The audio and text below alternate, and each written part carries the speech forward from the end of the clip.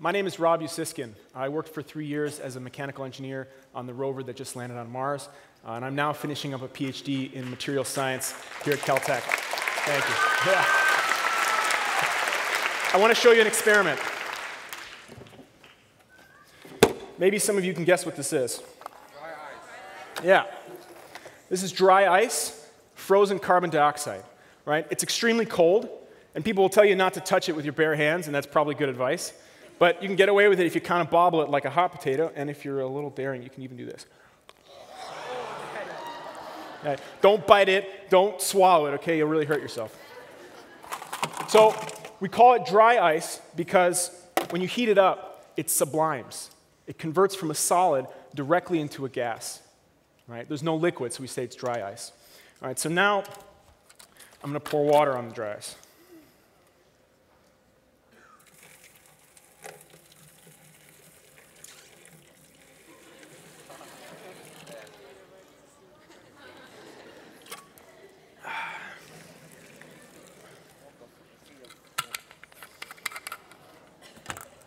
So, what's going on here? What is this white stuff? Where did that come from? Well, it doesn't seem like a liquid, right? Because if it were a liquid, it would kind of pool at the bottom, where it's sort of billowing around, right? It's floating around here. And it doesn't seem like carbon dioxide gas, because that's invisible. We breathe that out, that's in the room all around us, you can't see it. And it's not water vapor, because we breathe that out, that's in the room all around us, and that's invisible. So, what the heck is this white stuff? Well, the, the, the, uh, the key is that air has this property that when you heat it up, that it, uh, let me say, air has this property that it can only hold so much water vapor, right? It can't hold an infinite amount. And when you heat it up, it can hold more. When you cool it down, it can't hold as much. So here, I poured water onto the dry ice, and the dry ice sublimed cold carbon dioxide gas, which filled up this tank. And it cooled, that CO2 cooled down the air that was in the tank. Right Now the air can't hold the water vapor that it had from just in being in the room around it. And the water vapor had to condense into liquid. And it happened all at once, all around the tank.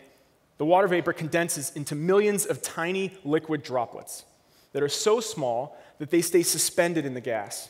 Okay, they don't settle but they're big enough to scatter light.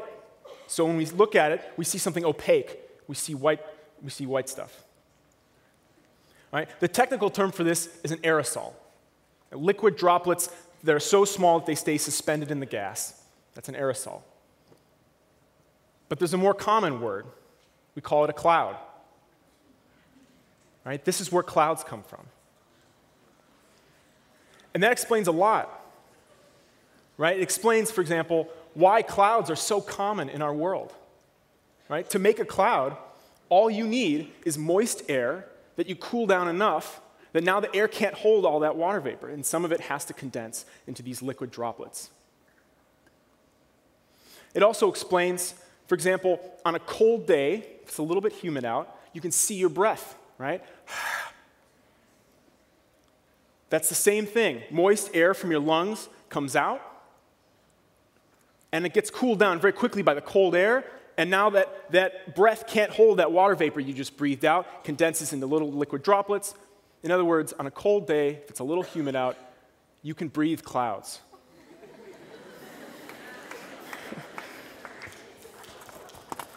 Let me show you one other part of the experiment here. This is a kid's toy that blows bubbles.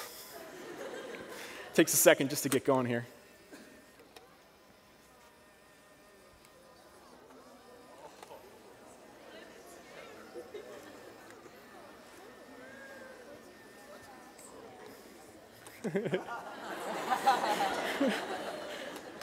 All right, so I hope you can see that the bubbles float in the tank but sink everywhere else.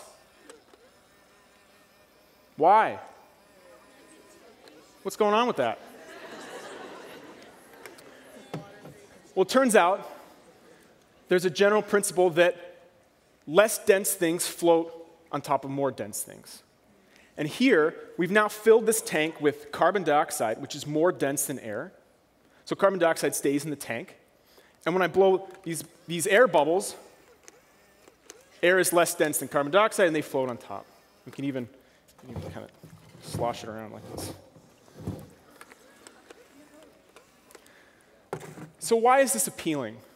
I think there's something instinctively fun and appealing about this. Why? What's cool about this? Right? So, one thing is it's surprising. Right? It looks like a magic potion, right? It's unexpected. This is pretty, I think. Bubbles are pretty, and clouds, swirling clouds, are pretty. And there's also a deeper sense of pretty when we see the patterns in the world, right? The connection between our breath and the clouds. It's a pretty idea.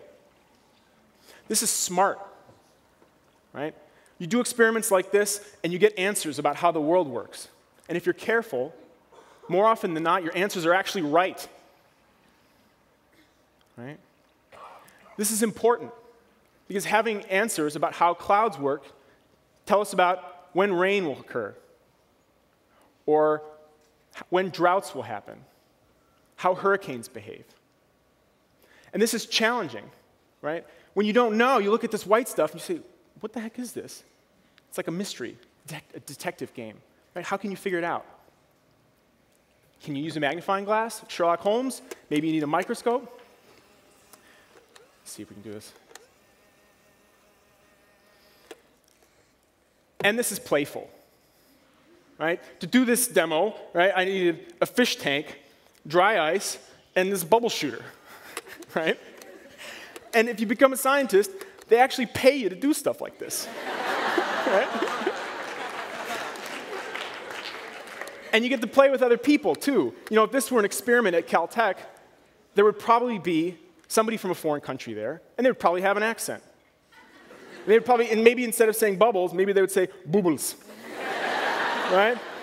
And, and then maybe I would start to joke, hey guys, do you like my boobles? and then a girl over here on our team would say, I used to have no boobles, but now I have big boobles. right? And in the middle of a serious, important science experiment, we would stop for a minute and have a completely ridiculous conversation about how big all of our boobles are. you know, some people think that science is only appealing to men or to nerds or to people who wear glasses. But I think science is appealing for human reasons, right? You can be a mom and like surprises. You can be a lawyer and like pretty ideas and pretty swirling clouds. You can have light skin or dark skin and think that swirling clouds look like magic and that the explanation behind it is smart. And you can believe in one God or 40 gods, or you can be happily godless, and you can be five years old or 30 years old or 80 years old. And you can be an artist, an athlete, a jock, a dancer, or a little bit of all those things. And because you're human, still like that science is surprising and pretty and smart and important and challenging and playful and cool. And that's why I do it. Thank you.